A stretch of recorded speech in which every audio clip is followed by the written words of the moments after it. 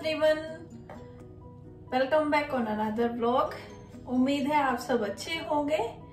तो आज मैं बना रही हूँ नाचोज तो मैंने सोचा क्यों ना साथ मिलकर बनाया जाए। तो चलो फिर शुरू करते हैं नाचोज बनाना। तो नाचोस बनाने के लिए हमें चाहिए बीन्स कोई भी ले ले। आप ब्लैक बीन्स ले ले रेड रेड किडनी बीन्स ये राजमा जिसको हम बोलते हैं, ये ले ले। तो यहाँ पर तो ऐसे केन आते हैं रेड किडनी बीन्स का देखो ये ऐसा केन था। तो ये पानी में भीगे हुए रहते हैं, इसलिए सॉफ्ट है, अगर आप देखो छूके तो ये ऐसे सॉफ्ट है। अगर आपके पास ये ऐसे केन वाले नहीं हैं तो आप भिगो करके और उसमें दो तीन सीटी लगा लें और फिर उसको आप ले लें।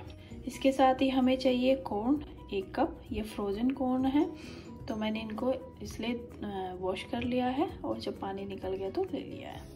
इधर एक कटी हुई प्याज ये मीडियम साइज़ की प्याज थी। एक शिमला मिर्च और एक टमाटर। टमाटर के मैंने बीज निकाल दिए हैं। साथ ही साथ हम ये लेंगे चिप्स।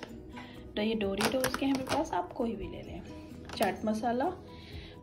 ये पेरी पेरी की है होट होट वाली सॉस पर आप इसमें मैगी सॉस भी यूज़ कर सकते हैं। जो होट एंड स्पाइसी करके एक मैगी सॉस आती है। टमाटो केचप और ये साथ ही हम लेंगे ग्रेटेड चीज़ अब हम इन सबको कर लेंगे मिक्स तो राजमा तो मैंने पहले ही इसमें डाल लिए थे। इसके अलावा ये सारी वेजिटेबल्स भी डाल लेंगे, जो भी हमने सब ली है। इनके अलावा आप और कोई और वेजिटेबल्स भी ले सकते हैं, जो भी आपको ज़्यादा पसंद है, इनमें से कोई हटा भी सकते हैं। और यस आप ओलिव्स ले सकते हैं। मेरे पास तो अभी थे नहीं तो मैंने नहीं लिया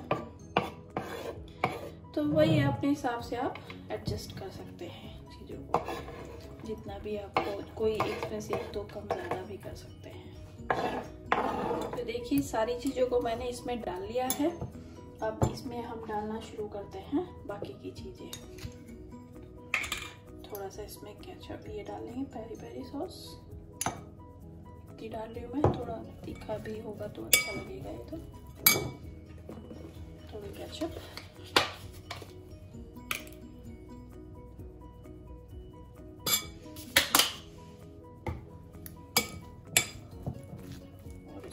से ये चाट मसाला क्वांटिटी थोड़ी कम ज़्यादा कर सकते हैं अगर फैमिली में ज़्यादा मेंबर है तो। आप थोड़ा ये चिप्स के पैकेट भी थोड़े ज़्यादा ले लें, एक और ले सकते हैं आप जैसे, और फिर क्वांटिटी उस हिसाब से थोड़ा बढ़ा लें। ये मैंने थोड़ा चाट मसाला डाल लिया अगर आप हल्का तेज़ नमक खाते तो हल्का नमक भी डाल लें ऊपर से। हम तो कम नमक में थोड़ा हल्का खाती हूँ। ट्रे ले लिया मैंने बेक करने के लिए, और उस पर मैंने एल्यूमिनियम फॉइल लगा लिया है।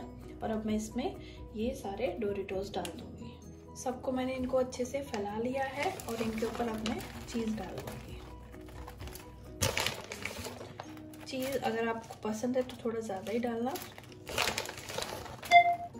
अब पहले हम क्या करेंगे कि इनको हम अवन में रख देंगे एक दो मिनट के लिए। जैसे हल्का सा बस मेल्ट हो जाएगा, जल्दी हो जाएगा। अगर थोड़ा एक दो मिनट ज़्यादा लगती है तो उस हिसाब से आप देख ले बस कि इस पर चीज़ अच्छे से मेल्ट हो गया है नहीं। चीज़ हमारा मेल्ट हो गया है। और अब हम इस पर ये सारा मिक्सचर जो हमने बनाया है, सारा डाल देंगे इस पर सारे में फैला देंगे अच्छे से।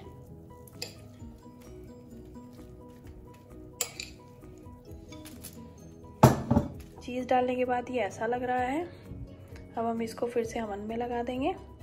अवन में इसको अब फाइव टू टेन मिनट्स लगेंगे बनने में। तो जब तक नाचोस फाइनली बनकर तैयार होते हैं, तब तक मैं आपको बता देती हूँ कि मैंने डोरीटोज जो है वो वन एट्टी ग्राम का पैक था ये। और इसके अलावा जो चीज़ था चीज़ भी 200 ग्राम का पैक था ये। आपको देख रहा हूँ टू हंड्रेड ग्राम। इसके साथ साथ मैंने थोड़ा सा चीज़ और डाला था दूसरे वाले पैक से। क्योंकि क्या है कि उस पर थोड़ा कम लग रहा था मुझे और मुझे, हमें चाहिए कि अच्छे से थोड़ा चीज़ हो उस पर फैला हुआ। तो आप अपने हिसाब से कम ज़्यादा कर लो, चीज़ ज़्यादा नहीं भी पसंद करते हो इनकेस तो फिर आप कम कर सकते हैं। तो यही था, मैंने सोचा क्यों ना आपको बता दूँ ये चीज़ मैं। तो चलिए फिर वेट करते हैं नाचोस का, बनने वाले हो बीच बीच में आप चेक ज़रूर करते रहें कि अच्छे से बन गए हैं नहीं। अगर आपको थोड़े क्रिस्पी चाहिए तो उसको एक दो मिनट ज़्यादा रख सकते हैं आप।